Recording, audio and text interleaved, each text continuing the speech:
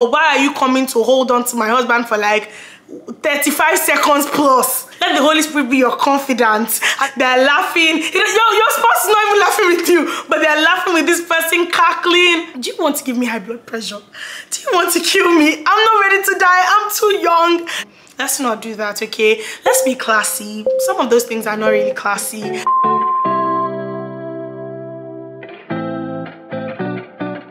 guys and welcome back to Oyin Brandy's channel. If it's your first time stopping by, you are most definitely welcome. But if it's not, welcome back. So this is another episode of the Gen Z Wife Tales. You guys absolutely loved the first video where we talked about in-laws.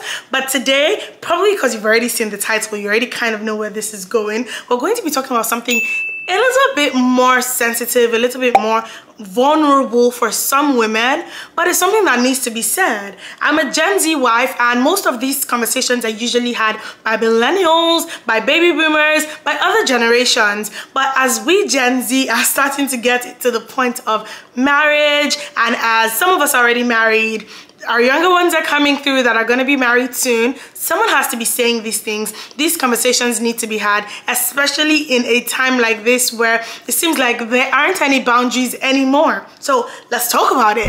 On today's episode we're going to be talking about boundaries with other women or other men in marriage. Basically boundaries with the opposite sex.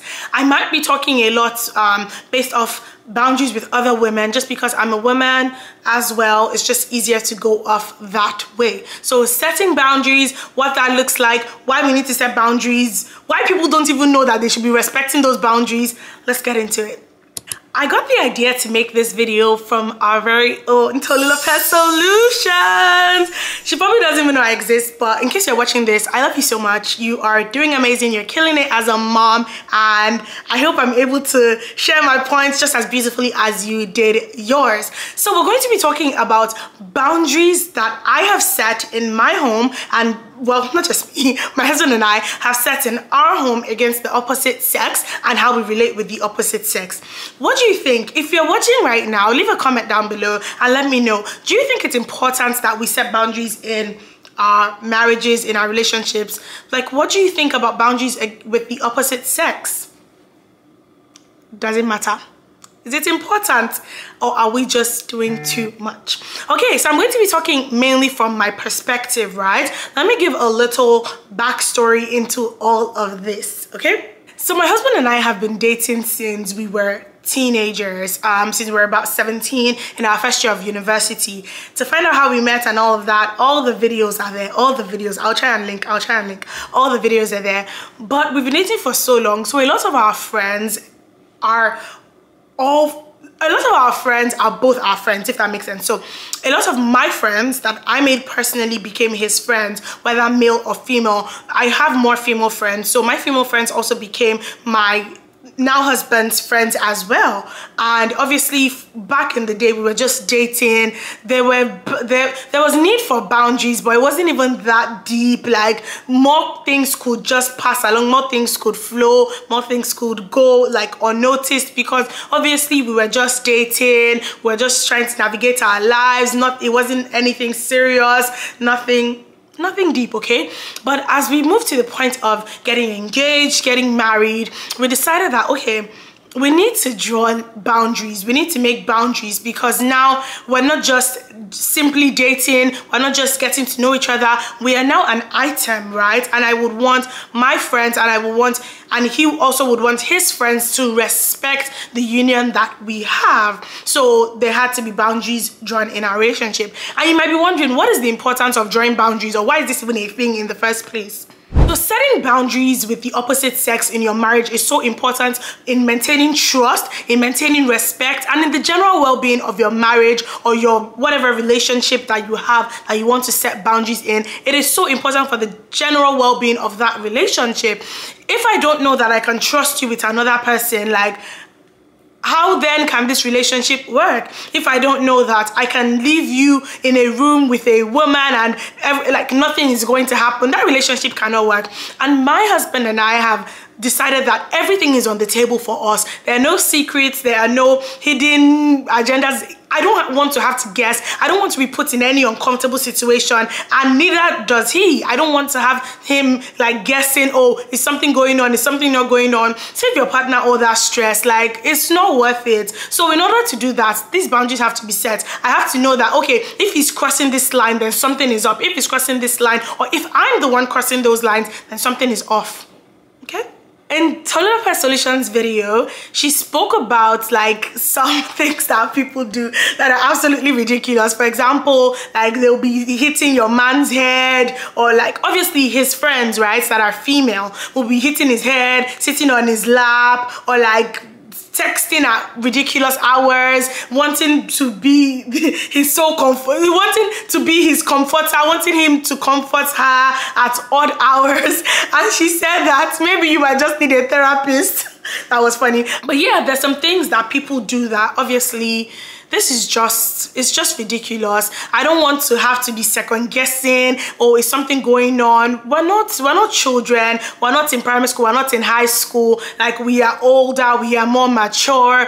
I, I personally don't really have serious, um, I don't think I've had any issues with my friends because my friends are actually very emotionally intelligent, which I, I give that one to them 100%. They don't do weird things like that. Sometimes they might, some of my friends will even come through me if they wanted to ask Olumide for something, which I think I, I absolutely respect that because it might be such like a sensitive conversation that I have to be the one to help them deliver the message. If they're going directly, it's weird. And I want you to get understand that some things are just not okay. Like some things are just weird, okay? Mm-mm, don't do it. And I just want to talk about some reasons why it's very important to establish boundaries um, in your marriage i'm going to be using marriage a lot because i'm married and it's just the stage of life that i'm in but some reasons why it's so important to establish boundaries in your marriage number one like i mentioned before is for trust and loyalty's sake like you don't want your partner to ever have to second guess whether they can trust you or whether you are loyal to them do you want to give me high blood pressure? Do you want to kill me? I'm not ready to die. I'm too young. I don't want to have to deal with this. And I want to know that I can trust you. I don't want to, if you tell me it's morning, I don't want to go outside to check for myself whether it's morning or it's afternoon or it's evening. That's not what marriage should be. Like marriage should be 100% trust and 100% vulnerability. It's so important to create boundaries because it helps to make your partner know that they can they, they, they can be secure in that relationship. It creates a beautiful foundation for your relationship and everybody knows that you know i know my place. I have my place in my marriage. Nobody is fighting with me for that place. I'm my husband's best friend. And some people might not do this and that's okay. But in our marriage in our relationship we're each other's best friends. I'm, I'm his best friend he's my best friend. The deepest things the deepest thoughts that sometimes i will even try to quench those thoughts in myself i should be comfortable telling it to my husband and i hope that he's comfortable telling it to me as well. It's just easy. It just makes marriage easier it makes life so much easier. The second reason why setting boundaries is so important is because it protects the emotional intimacy between you and your spouse I have to know that your deepest thoughts, the thing that bothers you the most, you are able to be intimate with me about that emotionally. Have you seen people that, first of all, for this to make sense to you, you have to believe in such a thing as emotional cheating. And I think that's the thing. Cheating on your partner emotionally, thinking that you can confide in someone else more than you confide in your partner. Mm-mm. Mm-mm, we're not doing that. Gen Z wives, we're not taking that. I have to be the person that my partner trusts the most, that he's able to confide in me about every single thing. Even if it's something that relates to us, like it's take it to me or take it to the Holy Spirit. Like that is it. Let the Holy Spirit be your confidant and let the Holy Spirit speak to me, which is why it's also important that you guys are both like on on the same or very similar level spiritually because if something is happening as opposed to going around talking to random people about that situation you can go to the holy spirit and one thing the holy spirit knows how to do is convict and correct and that's one period i personally believe that sharing like personal feelings sharing personal thoughts sharing personal concerns should primarily be left for your partner between you and your spouse and no one and no one else like, why? If your partner is having a win and the first person they think about to call is not you, there's something off there. there's something off there if they're having a loss or there's something so like something that's hurt them so much and they don't think about calling you first to confide in you and for you to be their comforter obviously after the holy spirit okay?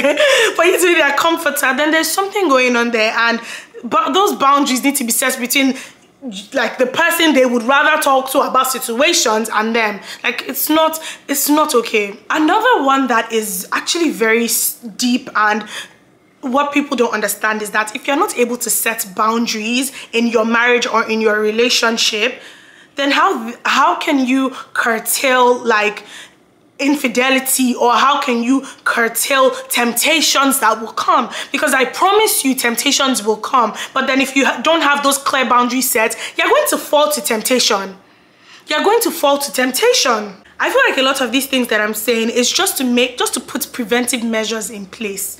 Like you're not, why are you trying to why are you pushing yourself inside a fire that you don't need to be inside? Like just for preventive measures. People also need to understand that without boundaries right misunderstandings jealousy envy can arise for no reason. You're just going to make your partner become like sneaky. They'll be trying to read your messages. They'll be trying to read your chats. Like you can pre you can just prevent your partner from going through such emotional distress if boundaries are put in place. There's no need for us to be doing that. There's no need for me to be wondering what you are doing at this particular hour of the night.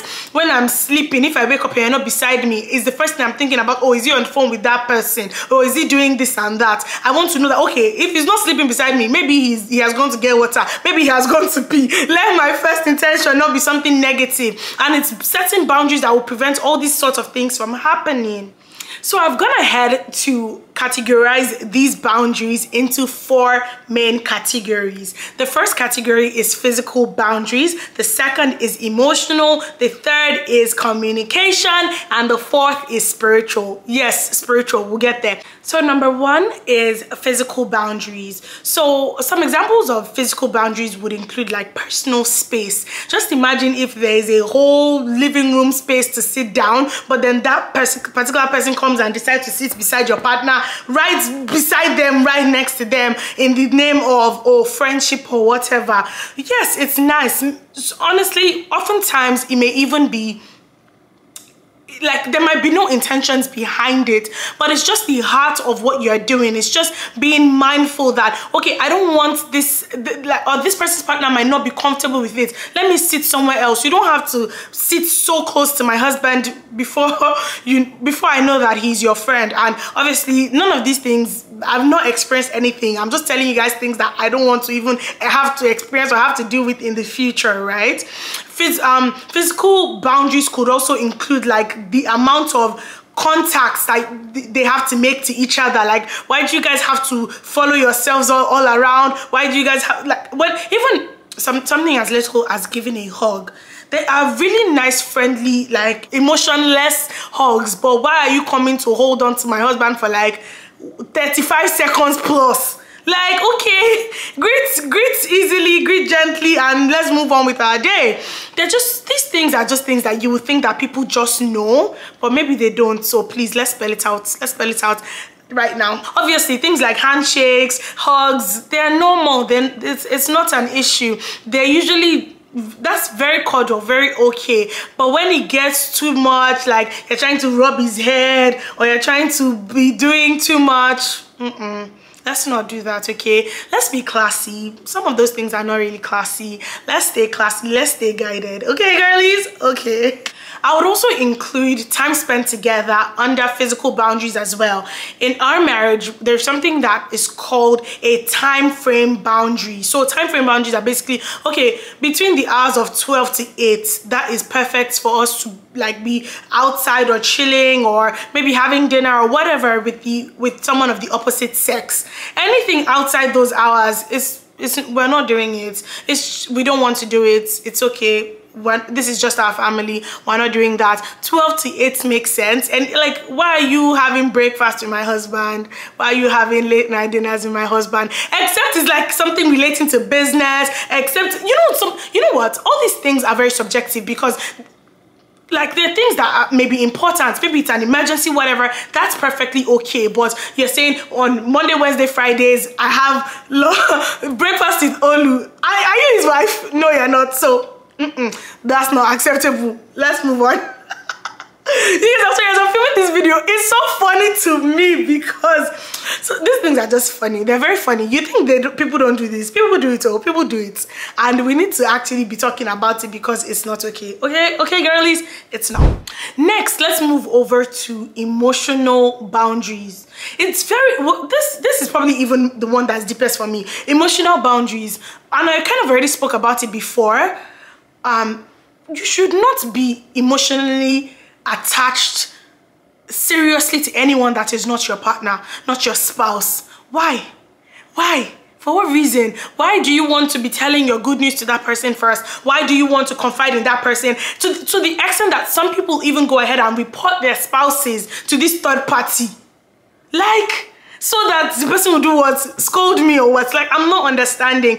It's not acceptable. It's it's it can't work. It can't work okay? We're not doing that. The easiest way that i would even say it is that anything that could lead your heart elsewhere just put a boundary around it. Just put a boundary around it. There's no need for you to be touch, uh, touching it a little, just dabbling in it. There is no need. Anything that could make you almost cheats, almost anything that is is creating that attachment to another person that is not your spouse is not necessary. For example spending more time with this person than you're spending with your spouse constantly thinking about this person more than you think about your spouse or even your family.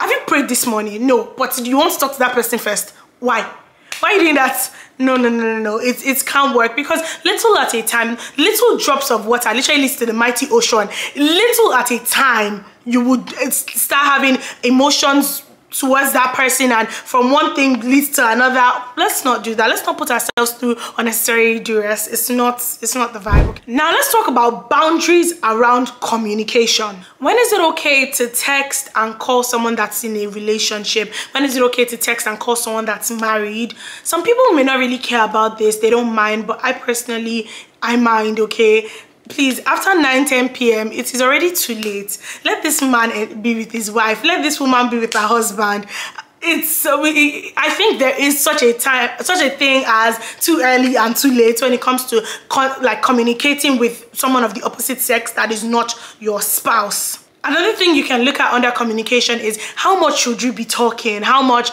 how much is too much talk time? How much is too much talk time? If someone is able to keep your husband or wife away from you on the phone for two three hours they're laughing. You your, your spouse is not even laughing with you but they're laughing with this person cackling. Bruh, me personally i know that i'll be like ah what's going on here? What's going on? Please involve me in that conversation. I want to know what you're talking about. This is me oh. It might not might not be a problem for you but this is me just speaking on behalf of myself for myself. If you agree, leave a comment below. If you don't, still leave a comment. I'd love to hear your opinion. And the final one that a lot of people do not consider but is actually so deep, probably the deepest, is spiritual boundaries.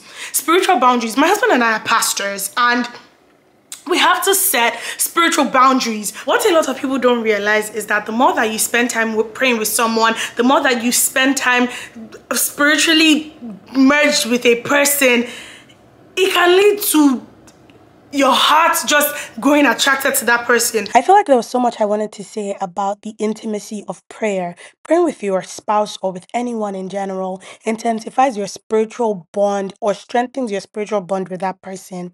When you pray together with someone, you are basically being vulnerable with God and being vulnerable with that person as well. So that level of vulnerability just leads to emotions growing. Prayer builds trust. Prayer also makes you feel loved. When I pray with my husband, or when my husband and I are praying together, there's this level of emotional intimacy that's being built. And when either of us pray specifically about anything relating to us, it kind of like you can just, it's kind of like you can just feel it in your heart. Prayer would build spiritual bond. Prayer helps you see people as God sees them. Prayer builds security. Prayer is also very much attractive. Do you know that? Do you guys know that anointing is attractive? Um, jokes apart, though, these are the things that I wanted to share, but I think I just couldn't find the right words. Obviously, I do not mean in any way that um you cannot pray with somebody else because they're of the opposite sex. No, it is that you should also be praying with your partner. It is that your partner should be your biggest prayer prayer partner if that makes sense um rather than somebody else because it does build emotional and spiritual intimacy. Yeah You guys don't know that praying is a huge, praying together with someone is a huge form of intimacy. That's why sometimes I'll, I recommend that a lot of people, if you know that yeah, this person is not your forever person, don't go and start praying with them or don't go and start getting involved with them spiritually because your heart will just be merging with them. There's a huge level of pouring out that we always have to do with our mentees and all of that. And I'm not talking about any of that stuff. We, me, I love praying with people. I love rendering like rendering help in any way that I can, specifically like spiritually praying. I love it so much. It's always better for your spiritual mentor not to be someone of the opposite sex. It's just always better because oh, prayer, prayer is the master key. Is a measure. It can merge you, and this is why it's also so important for you to be praying with your own spouse as often as you can because it's a deep form of intimacy that cannot even be explained. It cannot be explained when those spirits are moving. Ah, let me not just start speaking in tongues right now because because. Well yes that's it for this video. I hope you guys enjoyed it. I hope you understood the heart of the message. This is not to say that your partner should not have friends of the opposite sex. It's just that there should be boundaries that you set in your marriage. Obviously my husband has friends of the opposite sex. I have friends of the opposite sex. So it's just the boundaries that matter. Once you're able to set these boundaries in place you realize that it's easy breezy beautiful easy breezy be beautiful. You don't want the other person to ever feel like oh am i doing too much? Am i nagging too much? Once those boundaries are set all of those will not be an issue. So yes hope you enjoyed another episode of gen z wife tales and we'll see you on the next one